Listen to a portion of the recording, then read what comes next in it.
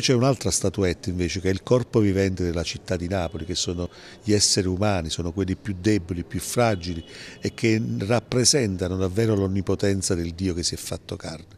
Mi sembra che l'iniziativa della parrocchia con Don Doriano voglia proprio diventare un bellissimo promemoria per dire che Natale lo si può celebrare veramente, al di là delle statuette, ma soprattutto nella misura in cui le nostre braccia, come quelle del bambino raffigurato nel presepe, si trasformano in abbracci e non in protesi che respingono.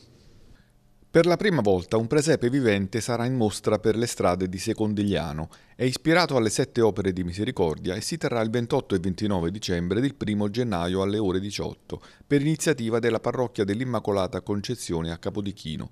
Il tema scelto è quello dei migranti con le loro storie difficili e con la messa in scena delle situazioni estreme con cui affrontano i viaggi e l'ostilità della gente, raffigurando quindi lo stesso concetto della misericordia nell'unione fra antico e presente. Riprende il quadro famoso di Caravaggio sulle sette opere di misericordia, ma soprattutto ha una particolare attenzione ad un tema che sta molto a cuore alla Chiesa e non solo, che è quello dei migranti, tant'è che eh, diciamo, la, la Sacra Famiglia sarà come dire, personificata da una coppia di, di profughi siriani e, e, anche le immagini saranno un po' particolari perché quelle sono quelle figure che in genere i migranti incontrano eh, e dai quali sono salvati, un pescatore, un medico e una guardia costiera. È la prima volta che Secondigliano ospita un presepe, un presepe vivente, lo fa appunto sul corso che porta il nome del quartiere, quindi in una zona molto, molto centrale eh, ed è anche questo un modo per rendere dire, più bello anche il quartiere